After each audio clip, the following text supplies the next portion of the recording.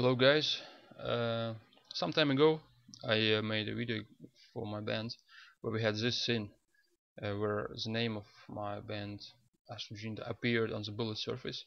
And uh, recently I started to get a lot of questions about one one simple thing is uh, how to add a name to the bullet surface. So what you need to do is uh, to understand how to make a bullet.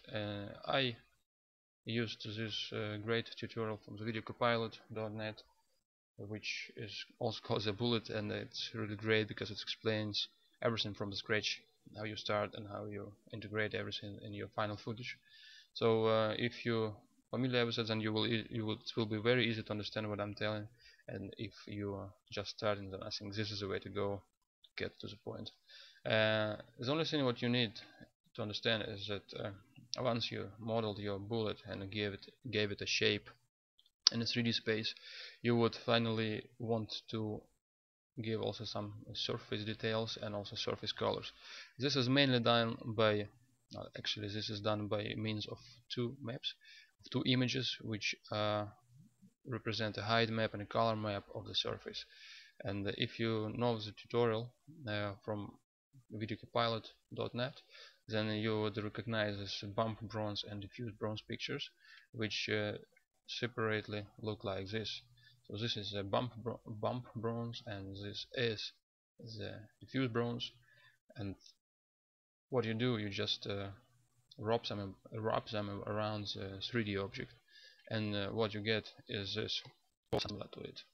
So there is a nice bullet body with some scratches with some uh, yeah, protrusions and depressions on it. And now we will uh, try to add a name. The only thing you need is to modify those two images in the way you want. By saying that I mean adding the text on top of it. So uh, in my particular case I choose the name of my band and I just put it on top of it. And the only thing here is that uh, you need to flip it in order to be mapped properly because right now we are working on the inside so inside of the surface. So you would need to look on this picture from the other side somehow in order to um, really have the same impression uh, to have a real world impression or to have it uh, done properly. So what is uh, what is the next step is just save this image and this image separately and uh, go back to your 3D software and try to replace the only need, the only thing you need is just to replace the original things with the modified uh, ones. So what you do is uh, first you I think to to see the effect you would just replace the bump bronze and you see the bump bronze I check this one. And uh, now we render your surface is already changed. So you see that your favorite word already appeared on the surface but it's only appeared as a depression. And uh, it still uses the original color from the uh, from yeah from the from the previous image map. So uh, what you need then is that uh, you replace your image map by the diffuse bronze you modified it or by the image you modified.